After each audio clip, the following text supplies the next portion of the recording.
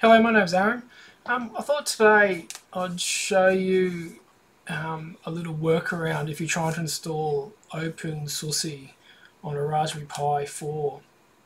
Um, when I've tried it, um, even with the latest Tumbleweed uh, NetISO, um, and the, this is the one you choose here, um, which is the latest for ARM64 boards.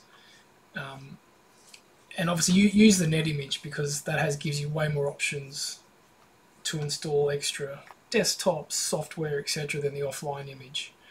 Um, but when, when you normally go to install it, my experience is it comes up with the black screen after you click install um, and nothing happens. Now, checking the ARM wiki on the OpenSUSE page, it says that it is bootable.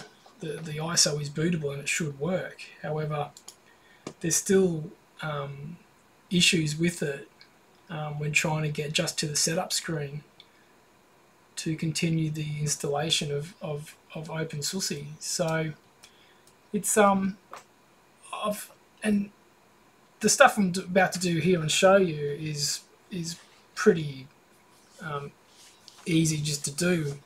Um, but it's, it's disappointing that it still doesn't work. Um, although, to be fair to OpenSUSE, there's so many single boards for ARM64 and they can't do an individual ISO for each individual board. That'd just be ridiculous because you know you end up having hundreds of ISOs.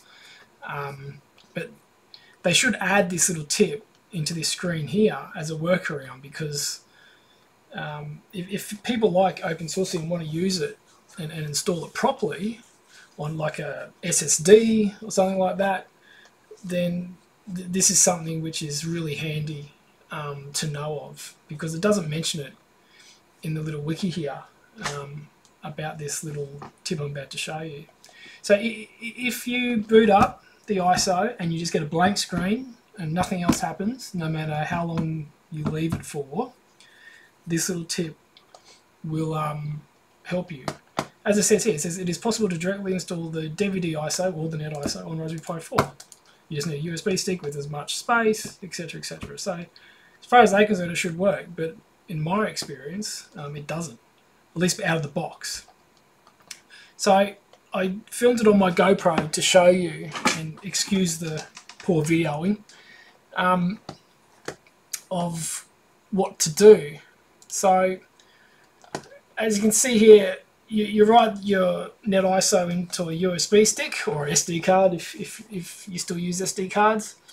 And then it'll come up with the uh, installation screen, the original boot menu where it's got install, upgrade. As you can see here, it's starting to load now.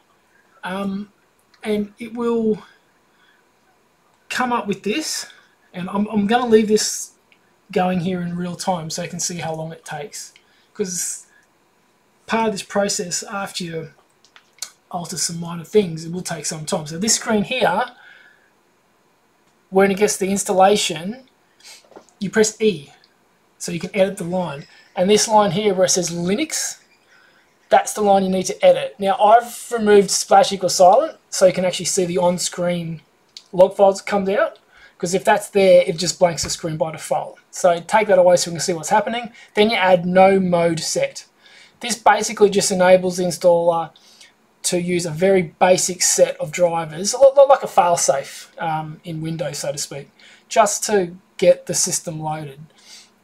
Now, this works quite okay with the Raspberry Pi. Obviously, if you're having similar issues with another single board computer, you could do the same thing.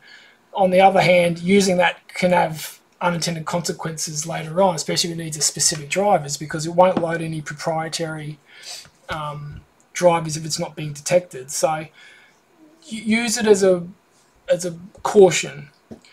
Um, but now for the Raspberry Pi, so once you put that in, you press Control X and it will continue to boot. And this next process will take some time because it will say in just a moment here as it flicks through all the hardware detecting there um, it will come up saying loading basic drivers and at this point And there it is there, loading basic drivers. This point will take many, many minutes. Um, a good seven or eight minutes uh, on average, maybe five if you're lucky. But this will take some time. Don't reboot the Pi. Know, give it time. It will eventually work. I know a lot of people don't have patience, but it is worth the wait. Trust me, because this does work. So I'm going to skip ahead now because this will take some time. But eventually you'll get the rest of the screen coming up where it gets past this point.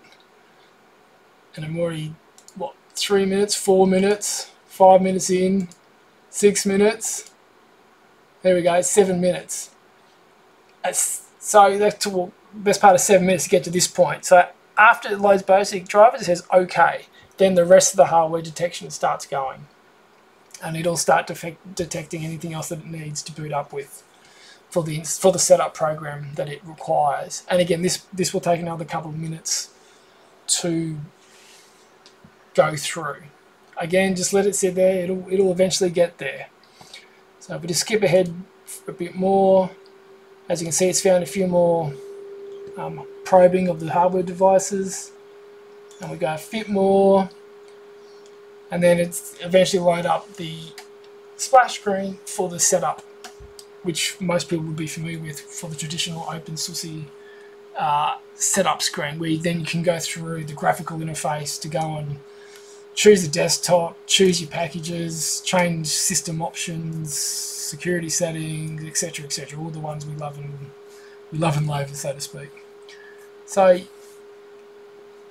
the, the, the once you get to the graphical screen, it will still take some time to um, install because there's at least a thousand packages that's to download and on the Pi it will take some time to do.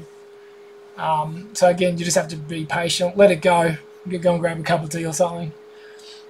But once everything is installed, once a setup process is done and the Pi reboots and you get into the main um, whatever if you just chose a command setup or if you just went into chose XFCE or whatever you, once this OpenSUSE is running, the boot times is back to normal. You're not going to wait 10 minutes per boot. So, so don't think this is going to happen every single time you boot up. It doesn't. Once it's installed, reboots, it will boot up as a normal operating system would on a Raspberry Pi. So it's not going to take 10 minutes every single time you reboot. And there's that lovely graphical screen and you just continue through it.